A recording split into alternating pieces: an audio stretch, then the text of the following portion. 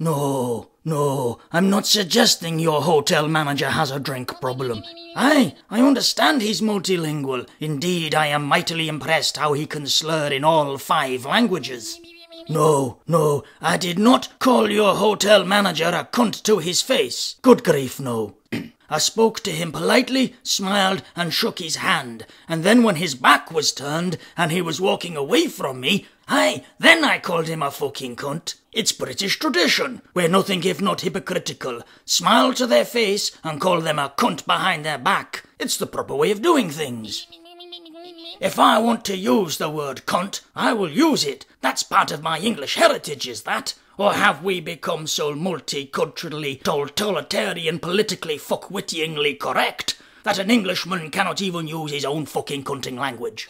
What do you mean I've been upsetting other guests? No, no, I would not have said that to a fellow guest. I merely suggested that he stopped dribbling his fucking nose into the breakfast buffet bar. I was standing behind him watching his nose drip into the breakfast buffet bar. When I booked an all-inclusive holiday with you, I did not expect it to include influenza and norovirus. I could have sneezed and shut myself out at the same time.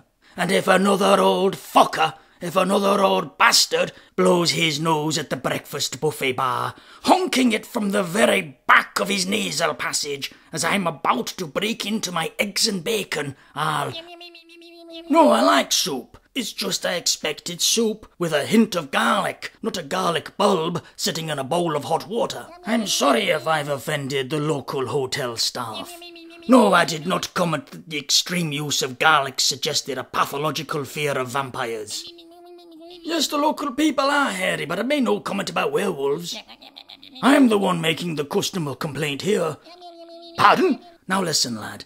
I know that you're versed in the dark arts of customer relations, but take your tongue out of your boss's ass and start talking sense, you slippery-tongued ass creep. No, no, I will not tone down my language.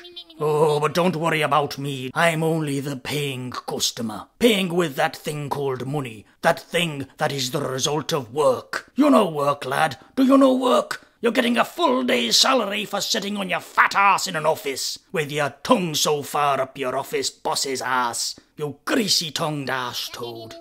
Pardon?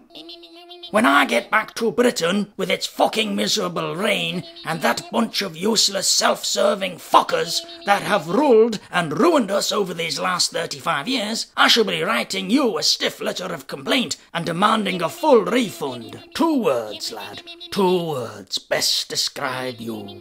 You are a total fucking fuck you and have a good day. And I'm sorry if I've offended the local hotel staff.